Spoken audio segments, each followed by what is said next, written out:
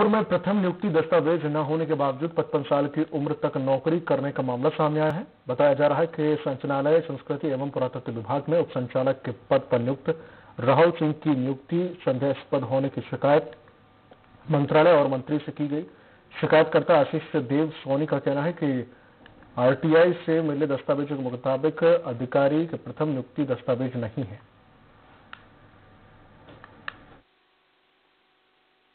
यह संस्कृति पुरातत्व विभाग में वर्तमान में उप संचालक के पद पर पदस्थ राहुल कुमार सिंह की प्रथम नियुक्ति आदेश उन्नीस सौ चौरासी का, वो विभाग में उपलब्ध नहीं है।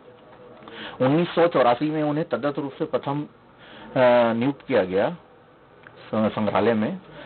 उसके सत्यासी में उसके बाद उन्हें अस्थायी किया गया। चौरासी का जो सत्या के बीच के जो दस्तावेज़ है, वह विभाग में उपलब्ध नहीं बताए जा रहे हैं। प्रथम नियुक्ति के जो संदेहास्पद है।